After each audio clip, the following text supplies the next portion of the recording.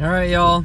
I've been dealing with this for the last 45 minutes, and the treacherous 22.3 miles that are the distance between mm-hmm. Costco Woodinville and my home in Lake Stevens.